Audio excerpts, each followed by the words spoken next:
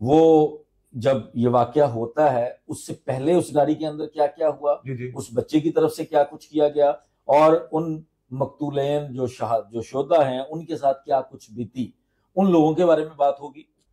अस्सलाम वालेकुम नाज़रीन मैं हूँ आपका मेजबान इर्तजा भट्ट नाज़रीन लाहौर में जो एक ट्रैफ़िक हादसा पेश आया है उसने सबको हिला के रख दिया कि एक 16 17 ए लेवल के स्टूडेंट ने एक खानदान के छह लोगों को जो है ट्रैफ़िक हादसे में मार दिया है। जो उससे भी ज़्यादा दर्दनाक वाक्य यह है जो हाई कोर्ट के अंदर उस बच्चे को प्रोटोकॉल दिया जा रहा है, जो कमला अदालत में उसने सबको हैरान कर दिया कि एक ऐसा बच्चा जिसने छह लोगों को जान से मारा है, उसको वो प्रोटोकॉल दिया जा रहा है, जैसे जो कत्ल होने वाली जो फैमिली है, जो मर्डर होने वाली फैमिली जिनको मारा गया है, शायद वो इनके खानदान से बिलोंग करती है। तो हमारे साथ अहमद शेर जट साहब है, क्योंकि बहुत से लोग ये ये ये इस बात को सुनना चाह रहे हैं कि इस बच्चे को अब कानूनी तौर पर क्या सजा मिलेगी। तो इसी सिलसिले में जट साहब के पास हाजिर हुए हैं कि कानून क्या कहता है कि ऐसे जो मुजरिम है, जो ऐसी गफलत करते हैं, उनके लिए कानून में क्या सजा है? अस्सलाम वालेकुम सर। वालेकुम अस्सलाम बच्चों कैसे हैं अल्हम्दुलिल्लाह। जट साहब ये वाक्य तो आप सबके सामने है कि एक 16-17 साल के लड़के ने एक पूरा खानदान को उजाड़ के रख दिया।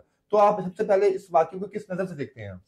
देखें भट्ट साहब बहुत अफसोसनाक है और लेकिन मैं समझता हूँ ये पहला वाक्य नहीं है और ना ये आखिरी वाक्य।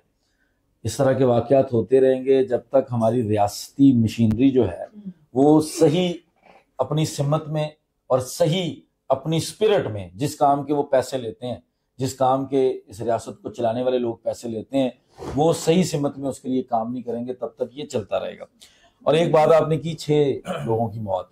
मैं उसमें एक चीज़ ऐड कर दूँ, बहुत ही विद ड्यू रिस्पेक्ट उस सात लोगों की मौत है। शायद आपने वो सुना नहीं है कि जो उस खानदान का सरबराह है, जो उन्होंने इंटरव्यू दिया, उसमें बताया है कि उनकी जो बेटी या बहू है, वो चार माह की प्रेग्नेंट भी थी। ये बड़ी अफसोसनाक चीज़ है, लेकिन ये ज़रूरी है ये बताना कि एक वो नन्ही जान जिसने इस दुनिया में आज से कुछ चार पाँच माह बाद आना था, अपनी आँखें खोलनी थी, वो भी इस अमीर ज़ादे के, इस जो ताकत वाले नशे के अंदर वो गाड़ी चला रहा था, दौलत के नशे में चला रहा था, वो भी उसकी भेंट चढ़ी है, वो जान जिसने भी दुनिया में आना था। और ये होते रहेंगे मैं फिर आपको कह रहा हूँ। जट साहब जिस फैमिली के साथ ये वाक्य पेश आया है वो तो इस पर गुस्से में भी है और दुख में भी है। उसके साथ साथ हम लोगों ने जब ये वाक्य देखा तो हमें भी गुस्सा आया कि यार हम लोग किस माशरे में रह रहे हैं कि जहाँ पे जनाब आराम से पाँच साल बंदों को आप मार के चले जाओ और उसके बाद आपको प्रोटोकॉल मिलता है। अब आप ये बताएँ कि कानूनी तौर पर इस मुजरिम को क्या सजा मिलेगी? और इससे पहले कोई वाक्य ऐसा पेश आया हमारी हिस्ट्री में जिसको बकायदा सजा मिली गई हो? देखिए भट्ट साहब जो एक्सीडेंटल डेथ्स होती है ना ये मैं समझता हूँ कि ये छः सात लोगों की शहादत का मामला है और ब्रूटली मैं समझता हूँ कि उनको उनकी उनकी जान ली गई है। लेकिन इस तरह के जो वाकयात होते हैं ये मैं जैसे मैंने कहा ना ये पहला है ना ये आखिरी है। बेशुमार हुए हैं। और मेजॉरिटी जो केसेस होते हैं उसमें दियत वाला मामला जो है वो उस वे को अडॉप्ट किया जाता है। उस चाहे वो दियत नहीं लेते या देत वो नहीं देते तो फिर कानूनी तौर पे क्या इस सजा केस के अंदर तो अब रुख तब्दील हो गया। है ठीक है जी। दहशत गर्दी दफात शामिल कर दी गई हैं। बाकायदा तौर पर दहशत गर्दी दफात शामिल की गई हैं और आज जब हम ये वीडियो रिकॉर्ड करवा रहे हैं तो पाँच दिन के लिए उस बच्चे का जिस्मानी रिमांड जो है वो पुलिस के हवाले कर दिया गया है दहशत गर्दी अदालत से। ठीक तो अब ये मुकदमा दहशत गर्दी अदालत के पास चला गया है और लाहौर हाईकोर्ट के अंदर भी अब इसकी समात जो है वो एक जज साहब से डिवीज़न बेंच में यानी दो जजेस साहबान जो है उनके पास चली गई है जो लाहौर हाईकोर्ट के अंदर मुलजिम की तरफ़ से पटिशन थी। तो इसलिए अब तो इस मामले के अंदर एक चीज़ क्लियर हो गई है कि ये दहशत गर्दी वाली दफ़ा दहशत- और सजा अच्छा होगी। ये जिसमानी रिमांड इससे पहले हमने देखा कि नहीं मंजूर हुआ जब उनके वालदा ने ये कहा कि ये जो लड़का था अफनान इसने इससे पहले हमारे घर की बहू बेटी को गाड़ी में छेड़ा। हमने जब इसको मना किया तो इसने वो गुस्से में आके वो रिवेंज लिया और पूरी हमारी फैमिली को तबाह बर्बाद कर दिया। इस वाक्य की इन्वेस्टिगेट के लिए उसका जिस्मानी रिमांड लिया जा रहा है कि वो बताया कि असल वाक्य क्या था। बेसिकली बेशुमार हक है। वो जब ये वाकया होता है उससे पहले उस गाड़ी के अंदर क्या क्या हुआ? जी जी। उस बच्चे की तरफ़ से क्या कुछ किया गया? और उन मकतूलैन जो शाह जो शोधा हैं उनके साथ क्या कुछ बीती? उन लोगों के बारे में बात होगी। और उसके फ़ौरन बाद इमीडिएटली जो एक्सीडेंट के फौरी टाइम के बाद जिस जिसका जो जो रोल रहा जिस जिसने जो जो सहूलतकारी की ये इस इन्वेस्टिगेशन में वो चीज़ अच्छा डॉक्टर साहब आप यहाँ पे ये नहीं देखते कि पुलिस से हमारी कोई गलती हो गई है? उन्होंने जो एक वीडियो बयान उस बच्चे का जारी किया उसमें उसने सिंपल ये बताया जनाब कि मुझे वो सामने बैरियर्स नज़र आया। मेरा जो बैलेंस कंट्रोल हुआ जाकर फैमिली को हिट हो गया। अब जो जो केस का जो दूसरा रुख है जिसमें ये भी कहा जा रहा है कि रिवेंज दिया जा रहा है तो क्या समझते हैं कि इसमें पुलिस भी इन्वॉल्व तो नहीं है, उसे सिंपैथी देने के लिए कि ये केस ये तासुर देने के लिए, यार बच्चा इनोसेंट है इसे गलती बस हो गई है। बट सब हमारे मुल्क के अंदर, हमारे निज़ाम के अंदर, ये जुराइम है क्यों? क्या आप नहीं जानते कि कहते हैं इलाके के अंदर अगर चोरी डकैती हो तो उसके एसएचओ को पकड़ो, उल्टा लटकाओ तो एसएचओ बता देगा। हमारे एसएचओ को पता होता है हर चीज़ का। क्या लाहौर पूरे के अंदर जितने जराइम हो रहे हैं, जितने ब्रॉथल्स चल रहे हैं, जितनी इलीगल एक्टिविटीज़ चल रही हैं, जितने शराब शराब खाने चल रहे हैं कुबत खाने चल रहे हैं, उनका, उन मुतलका थानों को नहीं पता। हमारी पुलिस का, माशाल्लाह, बहुत अच्छा और वाज किरदार है हर चीज़ में।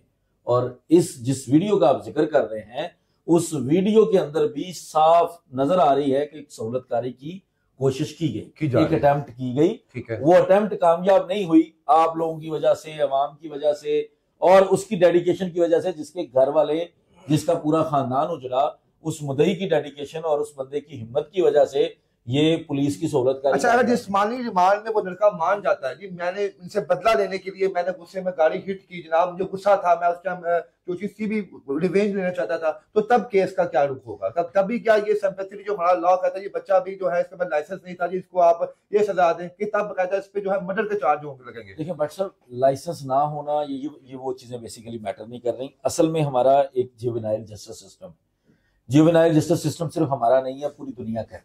सिर्फ़ बरसगीर का ही नहीं है पूरी दुनिया का है। जुवेनाइल ये होता है कि जिसमें 18 साल से कम उम्र जो लोग हैं उनको उनकी एज के हिसाब से ऑफेंसेस में ट्रीट किया जाता है, है उनकी जेल अलहदा होती है उनकी अदालत अलहदा होती है उनके लिए कानून अलहदा होता अठारह साल से पहले साल से अठारह की होती है फिर 18 वो आम आम। लेकिन डेट ऑफ़ अक्रेंस पे अगर अठारह साल का ऐसा नहीं है कि अगर केस चलते हुए दो साल हो गए तो उसको दोबारा उस कोर्ट में शिफ्ट कर दिया जाएगा।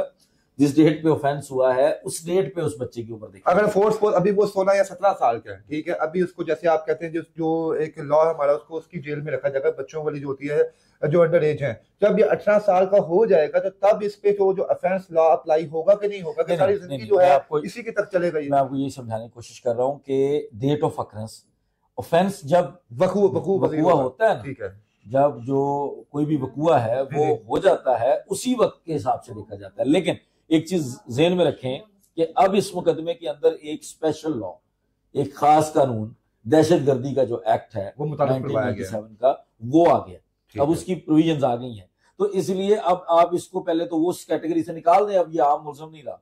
अब ये दहशत गर्दी अदालत का मुलजम है। दहशत गर्दी के कवानीन के मुताबिक इसके सारे मामला को देखा जाना है और जितने इसके साथ जो अभी को अक्यूज बनने हैं को अक्यूज उसका वालद है उसके साथ बाकी लोग हैं और मैं समझता हूँ कि जो बच्चे बाकी थे उनके वालदेन को भी उसके अंदर शामिल किया जाना और उनका भी रोल जो आप खैर खासकर कह रहे हैं टीजिंग और बाकी चीज़ें जो इन्होंने तंग किया है पहले फैमिली को जब वो चीज़ें सामने आएँगी तो फिर इसमें हमें नए चेहरे ये पाँच दिन के रिमांड के दौरान ही अच्छा अगर अगर इनका मेडिकल टेस्ट लिया जाता है जैसे वो, जो जवेद साहब है जो उसके फादर हैं जो जो फैमिली जो है हादसे का शिकार उनके मुताबिक कि जब हमने इस लड़के को रोका तो शायद हमें लगा कि ये किसी नशे के में एडिक्ट है। इसकी आँखें शराफत साहब कि इनकी आँखें सूजी हुई हैं। अगर इसकी मेडिकल करवाते हैं अगर अभी भी फोर्टी डेज़ का सिम्टम होता है आपके ब्लड में या थर्टी डेज़ जितना भी इनका है अगर इसके सिम्टम ब्लड में वो भी निकलता है कि ना इसने कोई ड्रग ड्रग लिया हुआ था तो क्या वो वो भी नया कुछ सर उसको अगर आप इस केस के साथ अटैच करेंगे ना तो फिर वो देर हो चुकी। वो देर आप, हो आप जो कह रहे हैं ना कि फोर्टी डेज़ का टाइम होता है ये होता है वो होता है वो टाइम तो फिर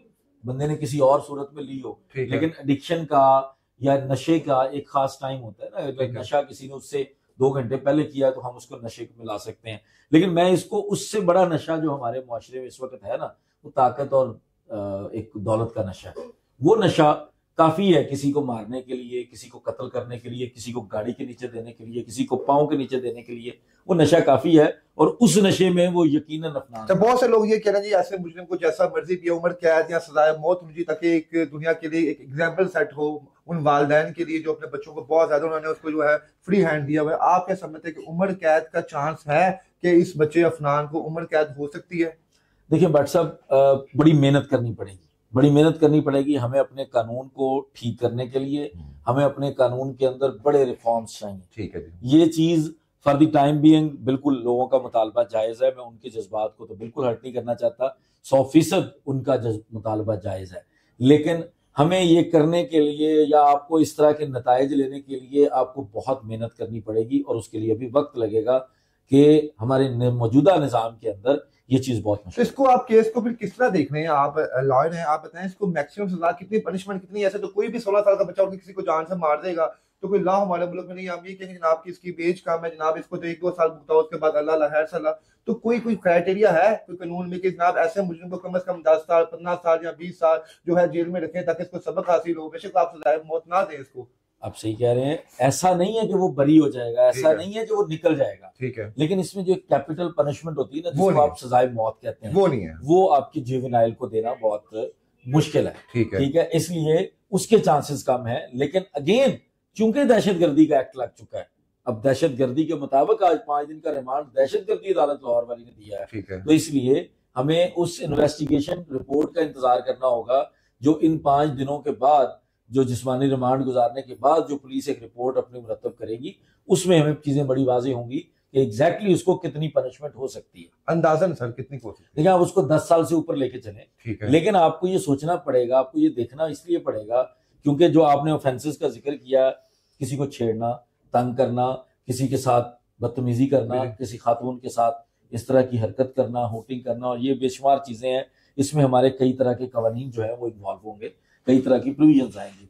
अगर वो सारी चीज़ें इन बच्चों का कन्फेशन आता है या पुलिस की इन्वेस्टिगेशन फाइंडिंग्स में आता है तो उसके बाद आपकी रिपोर्ट क्लियर हो जाएगी। अगले पाँच दिन के रिमांड के बाद आप इसको क्लियरली बता सकते हैं कि अगर टाइमली ट्रायल कर दिया जाए और वाकई ईमानदारी के साथ ट्रायल कर दिया जाए तो इतनी सजा होगी, मैं आपको उस बता दूँ जी नाजीन अहमद शेर जज साहब ने तमाम कहानी का खुलासा खोल के बयान कर दिया कि पाँच रोजा जिसमानी रिमांड के बाद खत्मी तौर पे ये ऐलान किया जाएगा कि इस बच्चे को कितनी सजा दी जाएगी। लेकिन जो उसने ऑफेंस किया है, इसके मुताबिक दस साल से ऊपर सजा बनती है। लेकिन देखते हैं बाद में कि रिमांड में क्या चीज़ निकलती है, क्या चीज़ नहीं निकलती। क्योंकि हमने यहाँ पे देखा कि हमारे मुल्क के अंदर बड़े बड़े जो हमारे मुजरिम होते हैं, वो बाइज तरीके से वापस आते हैं और जो नहीं होते, उनको जेल में डाला जाता है। बहुत से मुजरिमों के साथ बड़ी ज़्यादा की जाती है। अब मुझे उम्मीद है कि इन शाला की अदालत में अगर दहशत गर्दी की अदालत में केस गया है तो ज़रूर आइन के मुताबिक जो है इस पर फैसला आएगा और जो अफनान लड़का है उसको उसके किए की सजा लाजमी मिलेगी। इसके साथ ही मुझे इजाज़त है पापा अल्लाह हाफिज़।